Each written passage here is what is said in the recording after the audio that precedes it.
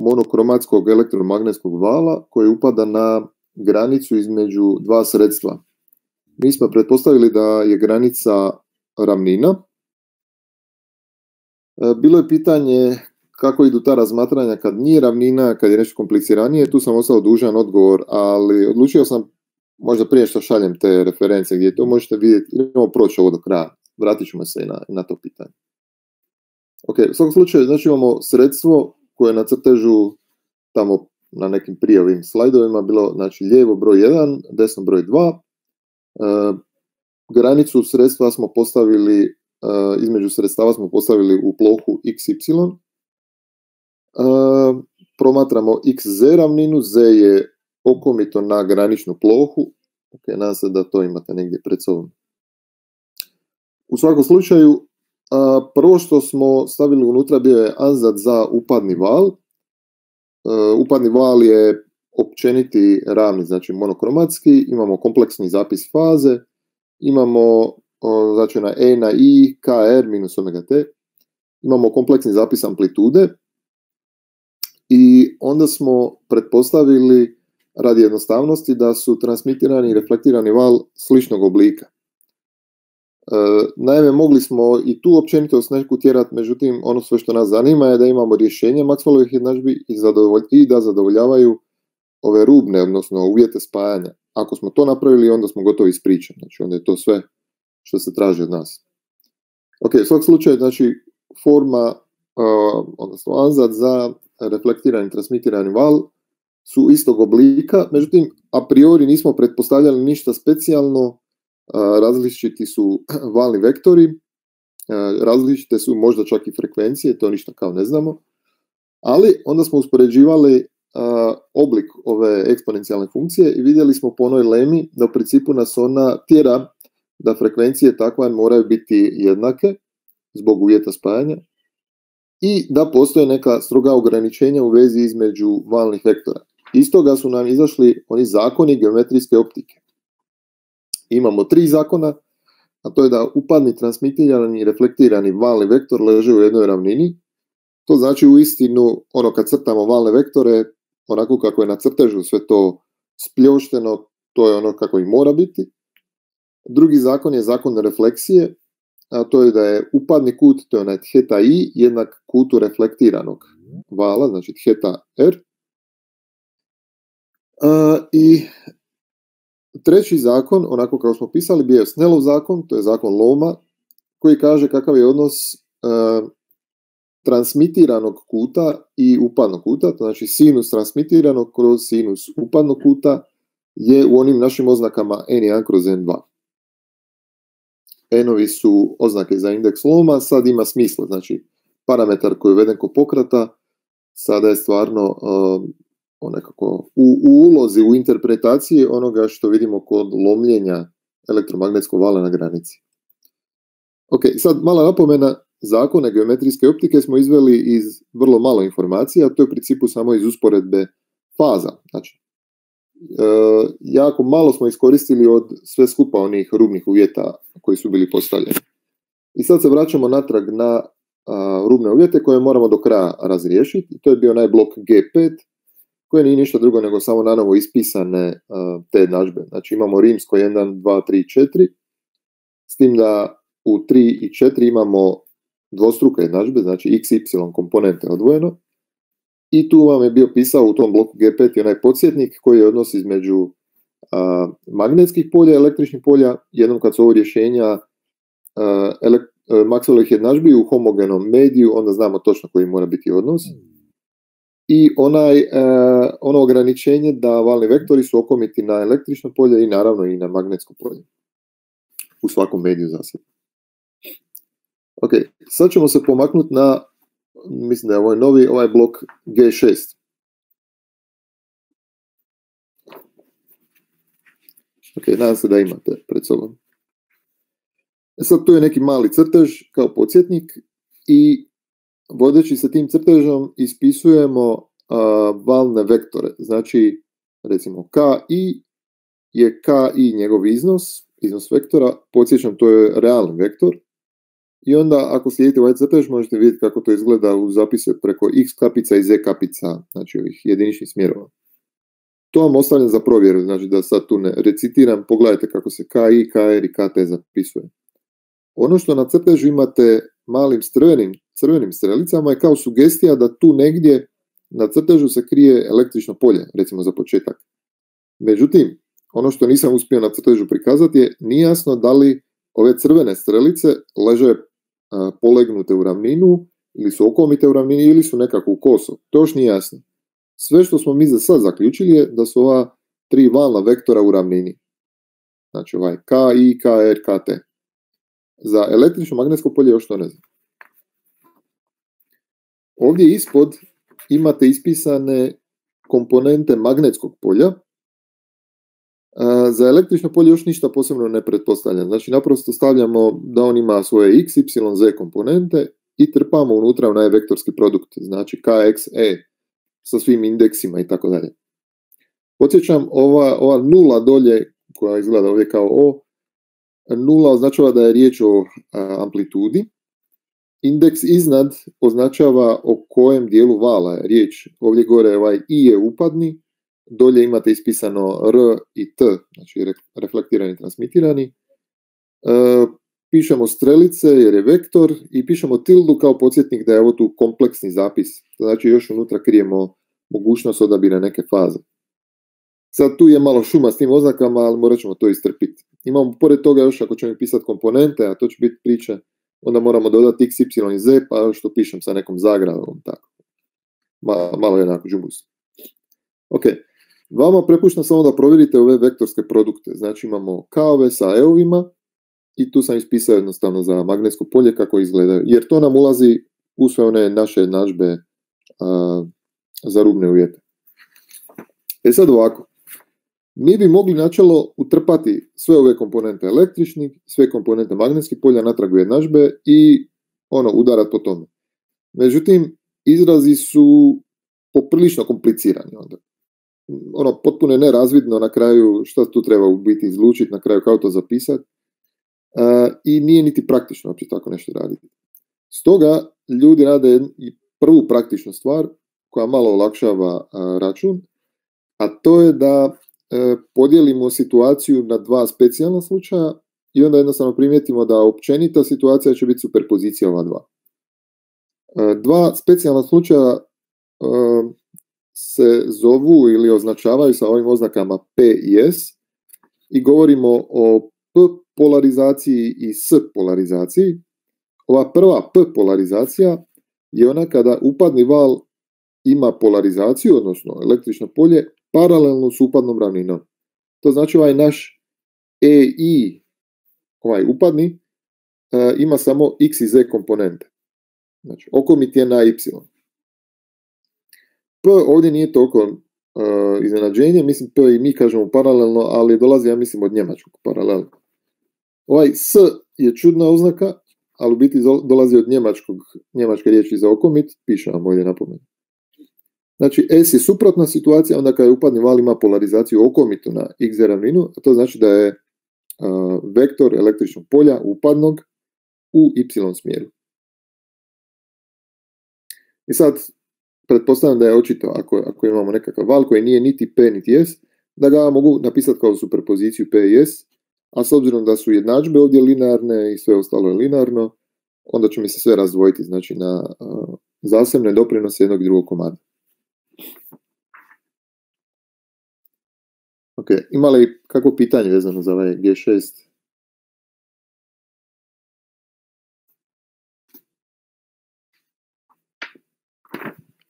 Ok, onda idemo dalje. Sljedeća stranica ovaj G6 nastavak. E sad ovdje ispisujemo ovo što smo malo prije rekli o rimskoj N2, 3, 4 u svim komponentama sa ovim pretpostavkama. Znači, u slučaju P polarizacije imamo da je y komponenta od ovog EI nula. To je sve što znamo. Sve ostalo moramo držati unutra kako je. I sad vama ostavljam da ispratite ovaj tu zapis. Mislim da nije toliko komplicirano. evo, uzeo sam pred sebe, tamo imate u bloku G5 ranije, su bile pisale ove jednadžbe. I recimo prva jednadžba je doslovce samo prepisana, tu se nije ništa posebno dogodilo. druga jednadžba govori o odnosu između Z komponenti magnetskog polja. E tu morate pogledati ovo što smo malo prije raspisali, znači magnetsko polje pomoću vektorskih produkata. Izvući vani Z komponente i ovdje ih zapisati pomoću električnih. Naime, sad mi je cilj riješiti se magnetskog polja, jer nakon ga znamo zapisati preko električnog, i sve zapisati u obliku sustava jednadžbi za komponente električnih polja. E, da vidimo, imamo tri e, u x komponenti, to je samo prepisano, tri u y komponenti, znači ova jedna je nula, i četiri u x i y komponenti, tu opet imamo odnose između magnetskih polja, znači koristimo ono raspisano magnetsko polje preko vektorskog produkta. Okay, znači tu nije neka velika mudrost, samo morate ispratiti znači, točno komponente kao su ušle, provjerite jesu predznaci svi tu unutra. Pokušao sam to pažljivo zapisati. Kod S polarizacije ispod, slična priča s tim da ovdje mi znači, X i Z komponente od uh, upadnog električnog uh, polja propadaju, ostaje samo Y komponenta i onda malo drugačije se ove, uh, drugačiju formu poprive ove jednadžbe. 1 do 4. Ok, tu nemam ništa posebno da dodati, to je naprosto ono stvar za provjeru. Morate proći na ruke to.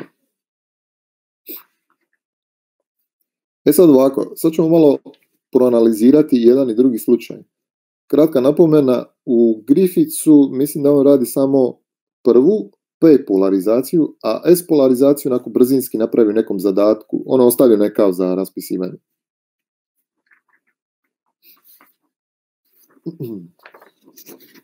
Ok, idemo pogledati blok G7, to je sljedeća stranica. Znači analiza P polarizacije.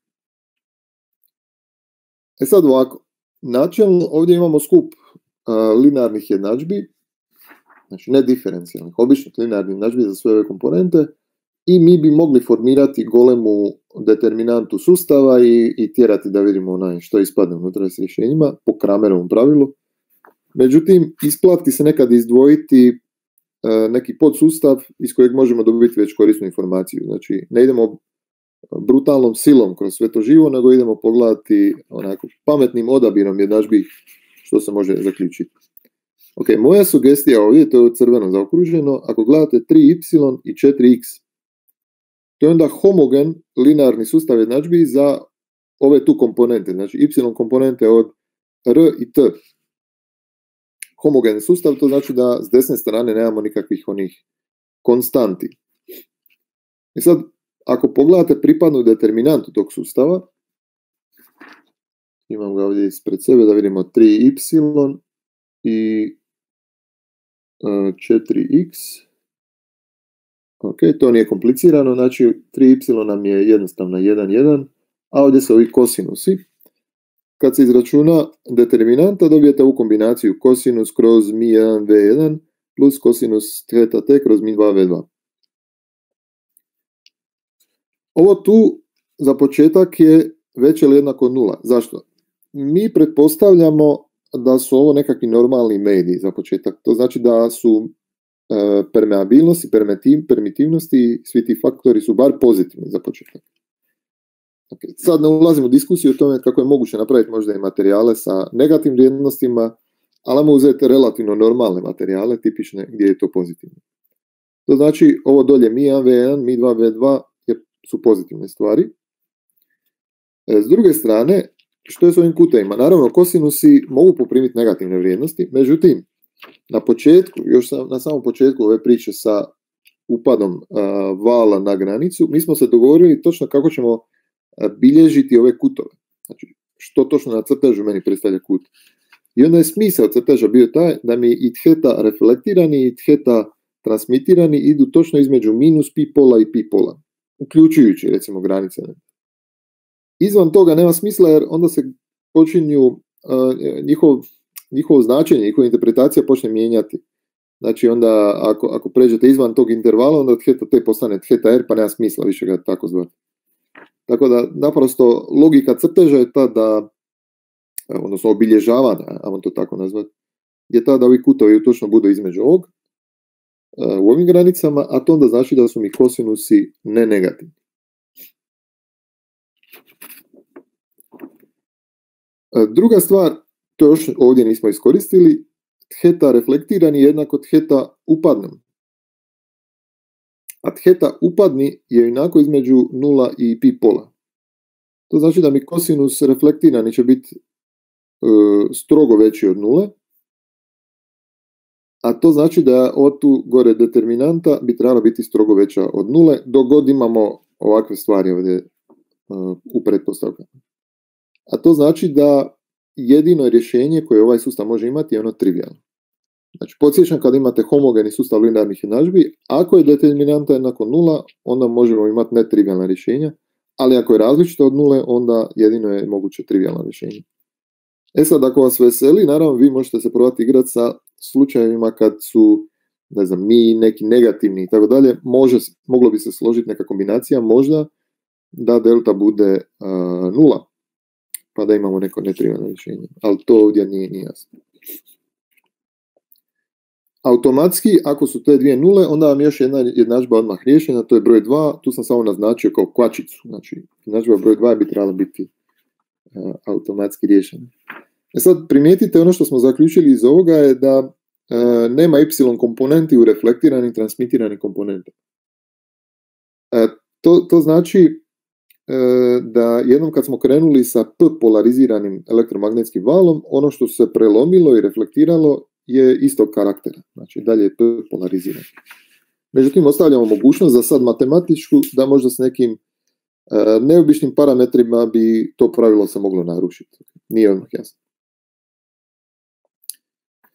Ok, sad olakotna stvar je da nakon toga zaključujemo da su sva, sva tri ova komada električnog polja, I, R i T, u xz ravnini i to znači da ih onda možemo ko na onom crtežu malo prije stvarno shvatiti da su položene, one crvene strelice su bile znači, da su stvarno položene u x ravninu i onda možete ispisati njihove komponente, to vam je ovdje zapisano, neću sad ulaziti u detalje. Znači, EI, ER, ET zapisani su pomoću kompleksne, ali skalarne amplitude i puta ovi kosinusi, sinusi koji govore kako to točno leži u u x ravnini. Jednom kad imate to, onda možemo to potrpati natrag u preostale jednadžbe i to su ove jednadžbe 1, 3x i 4y. To vam je ovdje dolje ispisano.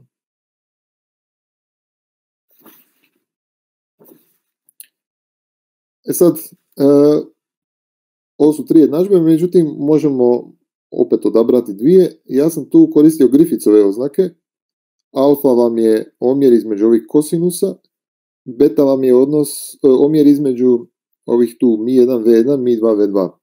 Tu sam još dopunio kako možete to prepisati, to provjerite. Znači, ako gledate odakle su došle brzine, brzine su zadane sa brzinom svjetlosti c i korijenom iz mi1, v, uh, epsilon 1, odnosno u mediju broj 2, sve s indeksima 2. E, pa probajte uvrstiti samo da vidite ono, da, li, da li ovako moguće se zapisati sa indeksom loma, odnosno sa permitivnošću, mislim da bi to bilo Aha, pardon, e, V u nazivniku je brzina, tako je, tako je, brzina. Znači, V-ovi su ovdje brzine elektromagnetskog vala u tom zadanom mediju. Ok, super. Znači, epsilon je permitivnost, mi je permeabilnost, n je indeks loma, V je brzina, broj 1, 2 govori u kojem smo mediju. Ok, i sad kad imamo te pokrate, onda vam se, na primjer, jednadžba 3x i jednadžba 4y mogu zapisati ovako skraćeno, to vam je ovo zaokruženo ovdje, sa alfom betom, to je jednostavan sustav koji ćemo za čas riješiti. E, naravno, neko može pitati, a što je s preostalom jednadžbom, ostala je još jedna broj 1. E, međutim, kad u nju uvrstite ovo tu što imamo, dobijete, vidite, imate ovu neku kombinaciju epsilona i sinusa, međutim, iskoristim recimo Snellov zakon, ubacim uh, epsilone povežem sa indeksom loma i kad se to sredi trebalo bi se dobiti natrag beta. S obzirom da je tu beta, to znači da je ovo tu identična jednadžba kao i ova 4y. To znači nemamo nikakvu novu informaciju u ovoj preostaloj jednadžbi. Ok, znači sve što je ostalo da bi do kraja riješili problem je ovo tu zaokruženi sustav riješiti, odnosno izraziti ER i ET preko EI. EI je nešto zadano, to je ovaj upadni val, reflektirani, transmitirani, želimo zaključiti, dobiti iz naših jednadžbi. To je sljedeća stranica, G7 nastavak. Rješenje sustava, to vam opet ostavljam za provjeru, je zadano ovdje sa crveno zaokruženim ovim izrazima. To znači E reflektiran je ova, ovaj omjer alfa minus beta kroz alfa plus beta puta EI. I isto tako transmitiran je 2 kroz alfa plus beta puta EI. Ove tu jednadžbe se zovu Frenelove jednadžbe. O, Fresnelove, čita se Frenelove jednadžbe. Pretpostavljam da ste ime već susreli možda na općim fizikama negdje ako ste neku optiku bar radili, pa su bili su neki Frenelovi pojmovi. Ok, u svakom slučaju ovo su Frenelove jednadžbe, međutim treba naglasiti to je za P polarizaciju. To znači neće, e, neće biti iste za S polarizaciju, doćemo sad i na to. Kod P polarizacije ovaj tu odnos. Desno imate par napomena kao najvažnije za uočiti u ovom prvom koraku. Prvo, alfa plus beta mi je strogo veći od nule. E, pogledajte kako su bili definirani alfa i beta. Beta mi je sve one pozitivne veličine, alfa su opet oni kosinusi, mislim da to sve mora biti veće od nule. A to znači u prijevodu da je t transmitirani val uvijek u fazi sa i. Znači imamo pozitivnu realnu veličinu koja množi ovu jednu kompleksnu amplitudu, to znači da se ne događa nikakav pomak u fazi. S druge strane, ovisno o odnosu između alfa i beta, možemo imati različiti zaključak kod reflektiranog vala. Naime, ako je alfa veće od beta, onda je R u fazi sa i, a ako je alfa manje od beta, onda je R u protufazi. Onda dobijemo onaj minus neki. Protufazi si. E sad, naravno, trebalo bi raspakirati i vidjeti što točno znači taj alfa, odnos alfa i beta, to je nekakav odnos uh, ovih kuteva upadnih, reflektiranih u odnosu na sve ove ostale parametre, permitivnosti, permeabilnosti i tako dalje. Ovdje nisam ulazio toliko u to, možete pogledati znači što bi to značilo. E, neko se naravno može pitati, a što je s onim specijalnim slučajevima, što kada je alfa jednako beta, doćemo i na to, vratit ćemo se. Znači tu će se neka nula onda pojaviti. Za sad samo kratko ovako napomenuti. Ispod imate još jedan alternativni zapis, naime mogu recimo u alfi onaj kosinus theta t koji bi u brojniku prepisati preko sinusa, a onda sinus theta t zapisati pomoću sinus upadnog kuta po Snelovom zakonu. To je ovo dolje sa ovim korijenom. Ovako je možda lakše jer onda imamo doslovce samo jedan taj parametar koji sami zadajemo, to je ovaj upadni kut, i imamo ono što smo zadali sa sustavom, a to su indeksi loma. To znači da u potpunosti kontroliramo sve te parametre i onda gledamo kakav je taj rezultatni alfa.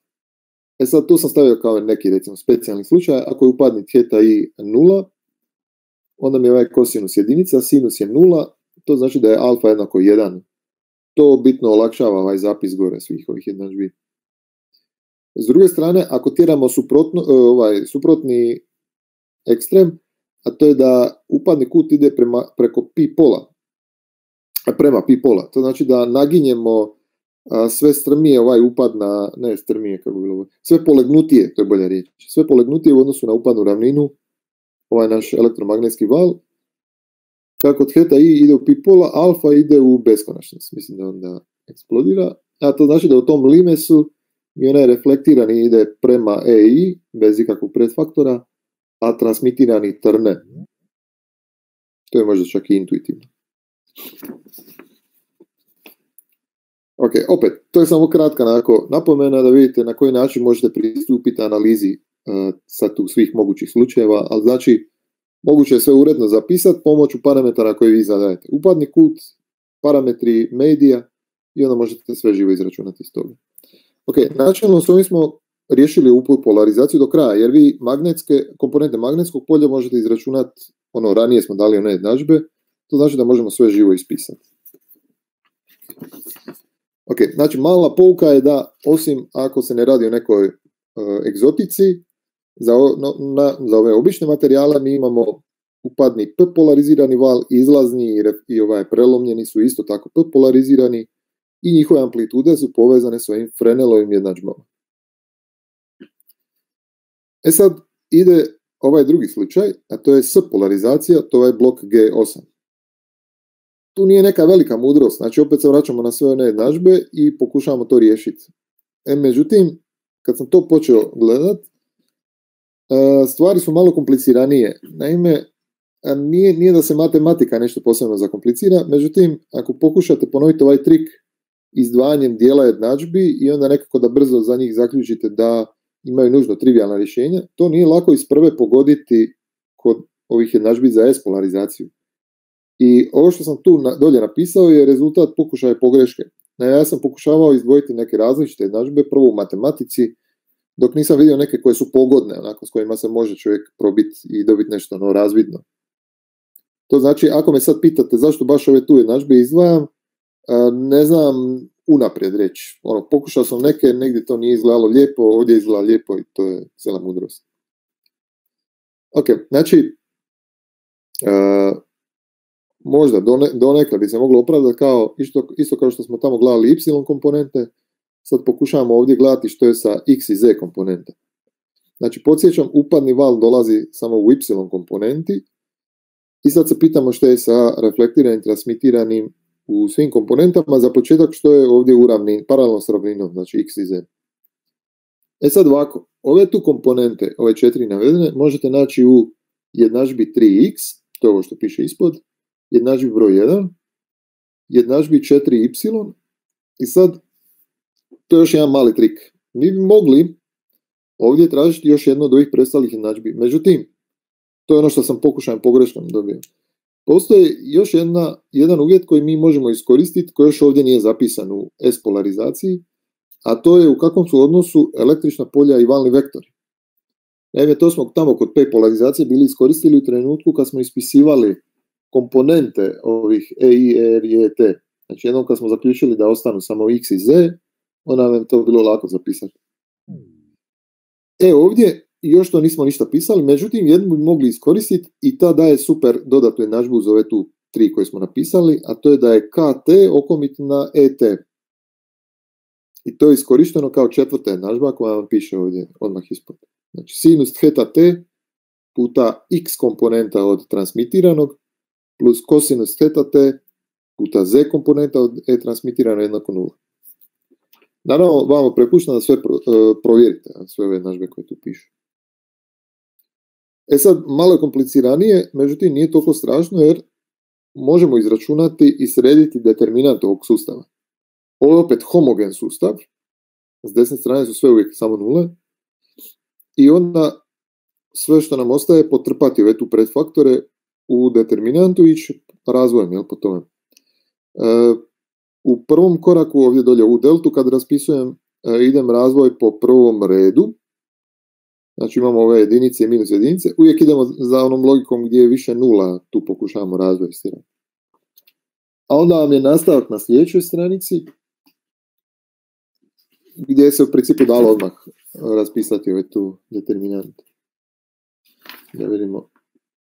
Onaj prvi komad je po prvom redu, znači imali smo onaj epsilon 1, epsilon 2, to se da za čas napisati. A ova druga, drugi komad možete po zadnjem redu, tamo imate 0,0 kosinus t. Taj razvojamo onda do časa. E, I sad, ono što ste dobili treba nekako zgrupirati. Ja tu koristim opet iste one pokrate iz polarizacije, znači na alfa i beta. Ništa se nije posebno promijenilo, možemo iste oznake koristiti, alfa i beta. I ništa, tu je sad samo cijela mudrost kako to nekako na, na jednostavniji način zgrupirati. Ja sam pokušao koristeći Snellov zakon i malo neke prebacivanja kosinuse i sinuse, sve to na čim kraći zapis i to vam je na kraju epsilon 1 puta alfa plus beta puta kosinus kvadrat theta i. U biti relativno jednostavno. Ali kažem, nije, nije uopće jasno od početka kako pogoditi načbe, pa da sustav bude baš taj sa ovako jednostavnom determinantom. Ok, sad što s tim? E, ako epsilon 1 nije nula, znači osim u tom nekom ekstremnom slučaju. I ako theta upadne ono po našoj pretpostavci kako smo zapisivali stvari između 0 i pi pola, ne uključujući pi pola, to onda znači da mi je alfa veća ili jednako od nule, beta strogo veća od nule, a to znači da ovaj tu delta meni ne može biti nula. Znači opet igramo se s nekim pretpostavkama jednostavno oko toga kako su zapisani kutovi i kakvi su parametri mog sustava. Ono, da li, da li mogu imati neke čudne stvari kao što su negativni epsiloni i mi. ako nemamo, onda je zaključak jednostavan da ovaj tu delta ne može biti nula, a to znači da je jedino moguće rješenje trivialno. To znači da su redom sve one tu četiri komponente koje smo pisali, r, t, x i z, sve je nula. To je ispod što piše. To nam naravno bitno olakšava analizu preostalih jednadžbi, onda treba gledati broj 2 i broj 4x. Ispadne da je 3y ista kao i ova tu broj 2. Ok, ali to treba provjeriti rukom. I ja sam tu pokušao to malo urediti u ove dvije jednadžbe ispod. To je opet sustav kao i ranije kod te polarizacije koji se može riješiti i onda dobijete kakav je odnos ovih preostalih, a to su y komponente od r i t električnog polja, zadanog pomoću ovog upadnog, upadni ima samo y po pretpostavci. E sad, ovo je nalik na one jednadžbe od ranije, ali nije baš sasvim isto. Znači, primijetite, tamo smo imali, ova druga izgleda isto, dva kroz, a ne, nije ni ona, ne, ništa, ništa nije isto. Znači imamo nekakve opet faktore zadane s alfa beta, ali drugačija forma totalno. O tu se opet zovu Fresnelove jednadžbe, ali s napomenom za S polarizaciju. Ovdje možemo zaključiti jedino recimo 1 plus alfa beta je veće od nule, to znači da je t u fazi uvijek si. To. A ovdje, ja tu nisam pisao napomene, ovdje bi ovisilo recimo o odnosu između alfa puta beta jedinice, kakav je r u odnosu na i. Ok, ali mislim da je jasno kako ide sad ta analiza. Ok, znači sve skupa, ovo nije nešto komplicirano, što se tiče fizike, čak i nije neka duboka matematika, ali jednostavno je gnjavaža sa velikim sustavom jednadžbi koje treba nekako raspetljati. Okay, to znači glavna zadaća u ovoj fazi za vas je jednostavno proći kroz ovo tu sve skupa. Pažljivo provjeriti. Ok, sljedeća stranica, a i to će nam biti zadnja, je analiza jednog specijalnog slučaja, a to je ovaj blok G9. Naime, postoji više specijalnih kuteva u analizi ovih e, lomova i reflektiranja elektromagnetskih valova. Jedan se zove Brewsterov kut, možda se on spominjao čak i u srednjoj školi, ja mislim da smo ga mi tamo učili. Brewsterov kut e, će biti specijalno označen sa theta B, to je specijalni odabir upadnog kuta, takav da je moj reflektirani val nula, to znači da je električno polje ER jednako nula. Mala napomena. Ako imamo nekakav općeniti val koji je mješavina S i P polarizacije, ja neću moći postići ovako nešto. Znači, ne mogu baš sa nekakvim putem ubiti do kraja električni, e, elektromagnetski val. Međutim, e, ako govorimo o specijalnim pod slučajevima, to znači ako imam P polarizirani ili S polarizirani, svaki od njih ima neki svoj kut s kojim se može ubiti ta komponenta. To znači, refleksija, refleksija može služiti kao nekakav filter pod specijalno odabranim kutem. A on pogleda kako to izgleda. Ispod imate prvo slučaj P, P polarizacije, onda se može postići eliminacija ovog R znači električnog polja reflektirane komponente, ako su alfa jednako beta, to je ono što smo spomenuli ranije. E sad, alfa i beta su samo pokrate, to znači treba uvrstiti alfa je onaj kosinus kroz kosinus, beta je omjer onih mijeva, enova, kako god zapisano. I sad treba iz toga izvući vani e, neki zapis za ovaj naš theta i, odnosno theta b u ovom specijalnom slučaju. E sad, ovo vam ostavljam za domaću zadaću. Probajte izlučiti vani, ljudi to obično zapišu preko tangensa od theta b. Ovdje piše, ne znam, vidljivo, tangens kvadrat od theta b i gore u zagradi je e, e, malo slovo p, kao napod. Ja, nije baš ispalo malo. Dobro, znači tvrdnja je da se to može skraćeno zapisati kao 1 minus beta kvadrat kroz n1 kroz n2 na kvadrat minus 1. Ni ovo možda nije baš najsretniji zapis jer beta je opet pokrata pa sam to do kraja ovako raspetljao sa epsilonima i mijevima, mislim da je ovako najjasnije. To je krajnje desno. Epsilon 2 kroz epsilon 1 puta ovaj tu omjer sad epsilona i mijeva. E, za domaću zadaću vam ostaje provjera toga.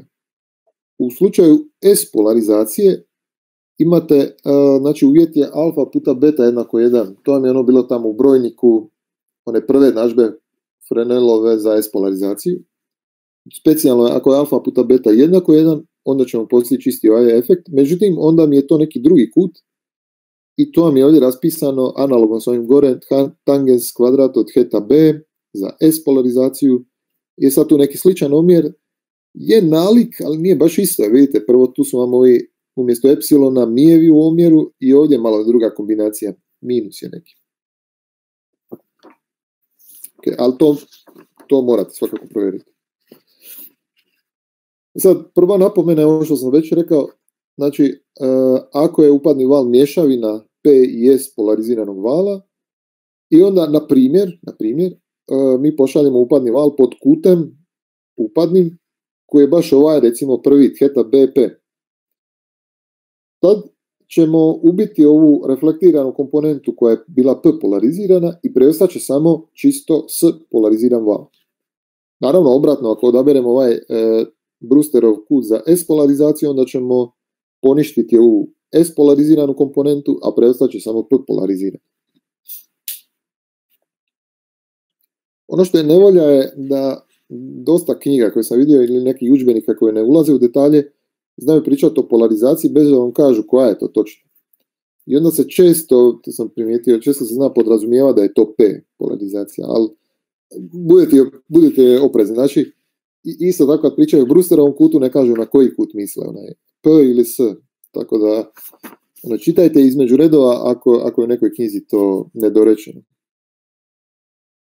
Druga napomena je negdje ćete vidjeti da se koristi naziv električni slučaj i magnetski slučaj ili neka inačica toga. Kad se kaže električni slučaj, obično se podrazumijeva da su mi 1 i mi 2 jednaki. Kao nemamo ništa posebno različito u magnetskim svojstvima i u principu za većinu, aha, jer za permeabilnost blizu 1 Bruserov kut za S polarizaciju piše da, ok.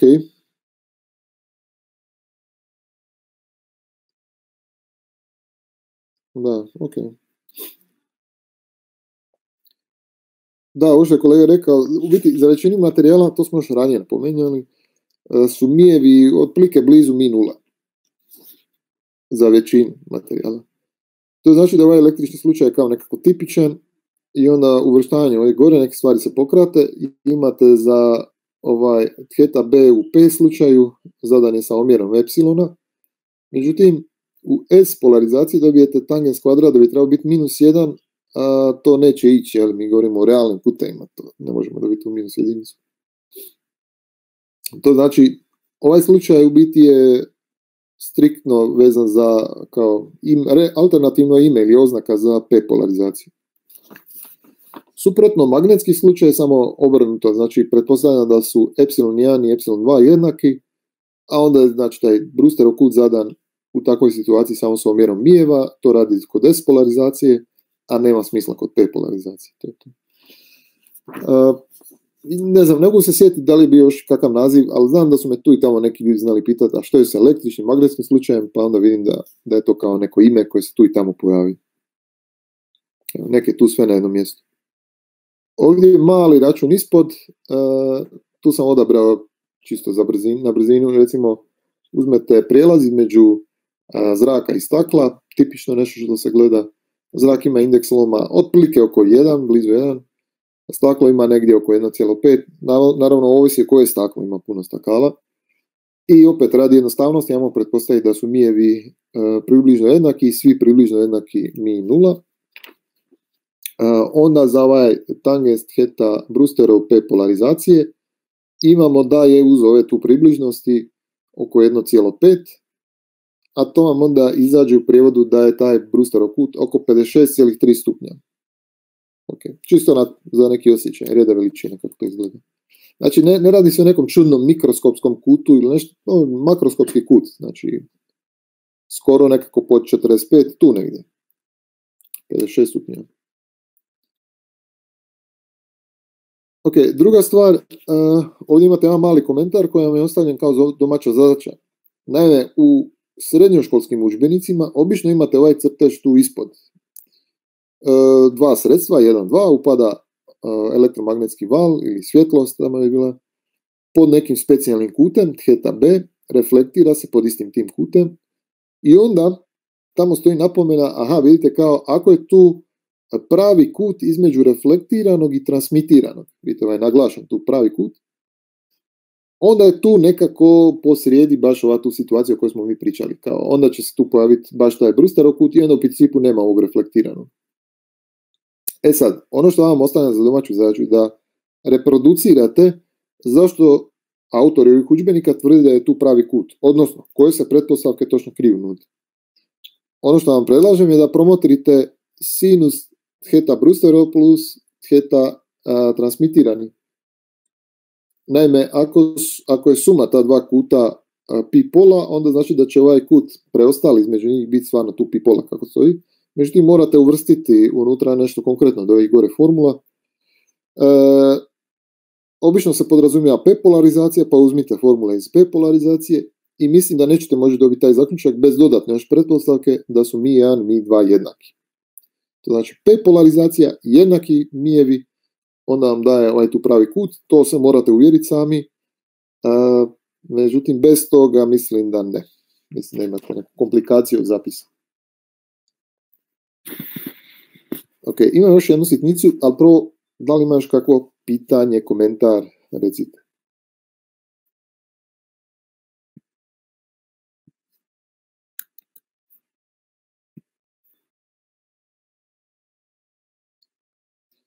Okay, sljedeće što nam slijedi je e, totalna refleksija, znači kako se pojavi taj fenomen, što se događa e, s druge strane ako, je, ako se dogodila totalna refleksija. E, onda ćemo gledati još elektromagnetske valove kroz vodiče i vidjet ćemo što nam tamo stane od svega toga. Malo iza, mislim da će to biti možda tjedan iza, ostaju nam još valovodi i rezonantne kutije, ali to je negdje otplike to, ja mislim što se tiče valova. E sad ovako, prije što se još raziđemo, pokušao sam naći, prošle godine je bio neki mali uh, Java applet, ne znam kako bi to preveo na hrvatsko, kao mali programčić u javi, uh, koji je neko napisao, ja ne znam točno da li to neki laboratorij, i zgodan je ovako, možete ga za čas odmah otvoriti. Imate znači, simulaciju kao reflektiranog vala gdje možete mijenjati upadni kut i kut gledanja, kako to promatrate.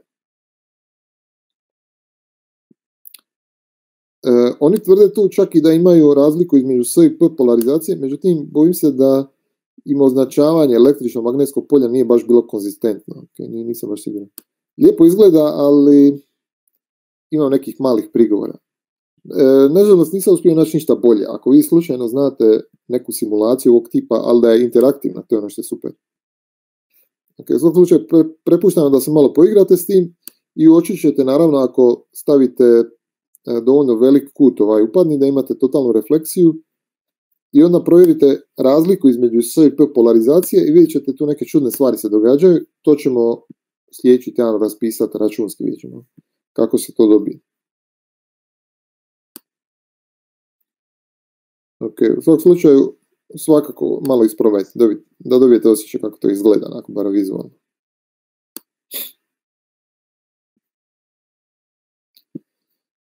Ok. Ima li još pitanja ili komentara?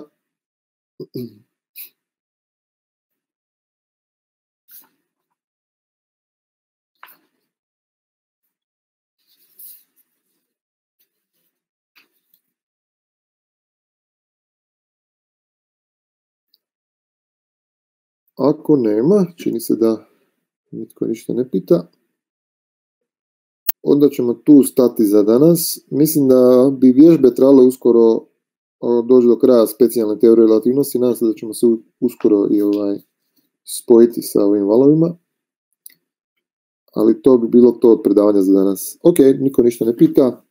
Onda vas sve pozdravljam. E, čujemo se sljedeći tjedan. Javite ako bude nešto nejasno oko ovih raspisivanja, ako uočite neku grešku ili tako da.